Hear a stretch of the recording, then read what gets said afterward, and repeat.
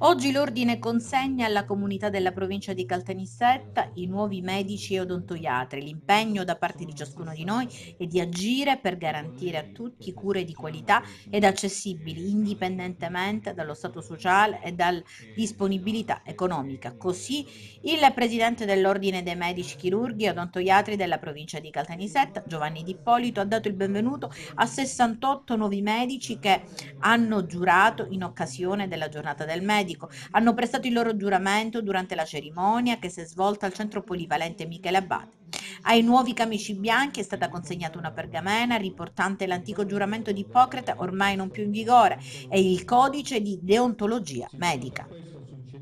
Questi giovani colleghi sono stati accolti anche dai colleghi più anziani e soprattutto dai tre colleghi che oggi hanno festeggiato anche i 50 anni di laurea, ma devo dire che sono stati accolti benissimo da tutto il direttivo perché rappresentano quello che è il futuro eh, della sanità nel nostro territorio. È una sanità che in atto presenta qualche preoccupazione, come nel mio intervento ho stigmatizzato, ma che sicuramente eh, non deve farci andare in, eh, in depressione, in apprensione eccessiva, dobbiamo soltanto lottare, noi più anziani, vigilare affinché i nostri colleghi, che sono colleghi giovani, volenterosi e preparatissimi, possano svolgere al meglio la loro attività e possibilmente nel nostro territorio. Sicuramente eh, la Federazione Nazionale degli Ordini dei Medici l'ha preso come primo punto, come eh, modalità di lavoro assolutamente nei, non nei prossimi mesi ma nei prossimi giorni o nei giorni passati addirittura perché è un problema nazionale la carenza eh, di personale medico e soprattutto eh, il non ricambio generazionale che è quello che preoccupa di più questi ragazzi ma eh, noi chiediamo al governo, abbiamo un'interlocuzione diretta,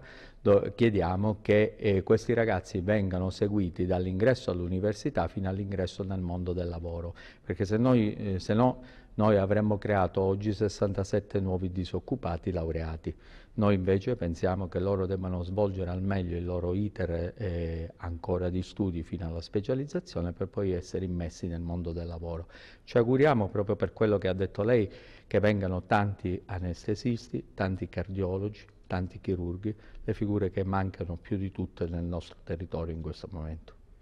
Questi ragazzi li abbiamo accolti proprio perché non sia solo l'atto formale che il 28 febbraio scorso come Consiglio direttivo dell'Ordine abbiamo fatto iscrivendoli eh, nel, al nostro Ordine, ma oggi penso che abbiano percepito l'affetto che la categoria medica ha nei loro confronti, devo dire anche supportata da, naturalmente dai loro familiari, ma devo dire anche dai tanti cittadini comuni presenti oggi che hanno accolto con un eh, caloroso applauso questi ragazzi. A loro va l'impegno da parte dell'ordine di non lasciarli mai da soli e, e soprattutto va l'augurio che possano eh, molto presto e dopo la specializzazione introdursi nel mondo del lavoro in maniera attiva e soprattutto perseguire quello che è il nostro eh, obiettivo principale, quello di curare il malato e come ho detto io non la malattia o il letto, ma il malato, il malato con tutta la sua problematicità, con la sua identità personale e familiare. Io ho fatto molto richiamo al codice deontologico oggi, anche in Bermuda possiamo scherzare e divertirci, ma mai abbandonare quello che è la dignità e il decoro di qualunque cittadino, a maggior ragione di chi deve fare della dignità e del decoro il proprio essere, proprio perché è poi di supporto a gente che ha bisogno.